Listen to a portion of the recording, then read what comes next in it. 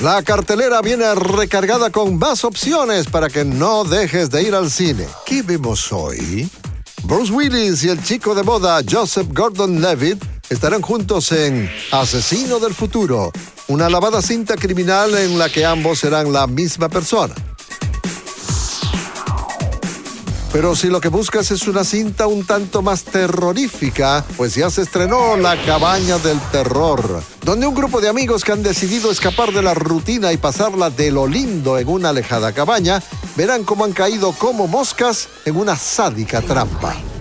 Ojo para las chicas que la cinta está protagonizada por Chris Hemsworth.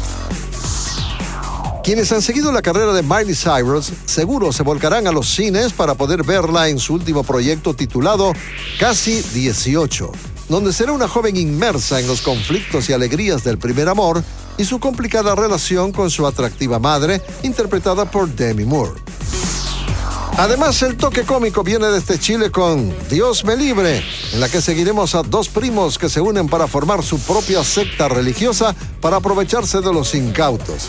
Al que le caiga el guante. Por su parte, el público arequipeño podrá asistir a los cines para ver Ana de los Ángeles, cinta donde seguiremos a esta virtuosa beata ambientada en una Arequipa del siglo XVII. No te la pierdas.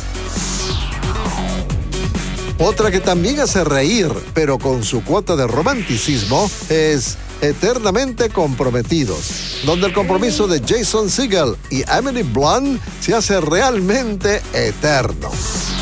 Un peliculón que continúa en las salas es Curvas de la Vida. Y es que además de la calidad interpretativa de Clint Eastwood, Amy Adams y Justin Timberlake, la historia es conmovedora, realmente imperdible. La semana pasada la favorita de los más pequeños sin duda fue El origen de los guardianes, una cinta que alimentará su inocencia, muy rescatable en estos días, y que los mantendrá pegadísimos con una excelente historia y una tremenda animación en 3D. Si no la has ido ver todavía, tienes opción de darte una vuelta por el cine para que revivas la inmortal El Padrino, una de las mejores películas de todos los tiempos, remasterizada para la actualidad. Finalmente a los lobos y vampiros que ya se despiden de las carteleras para siempre en Amanecer Parte 2, nos acompañan dos que están en contaditas salas. Primero, tenemos Buscando un amigo para el fin del mundo, adecuada para los que buscan una fina tragicomedia. Y ¿Qué esperar cuando estás esperando? que reúne a grandes estrellas y que ha hecho reír a los cinemeros.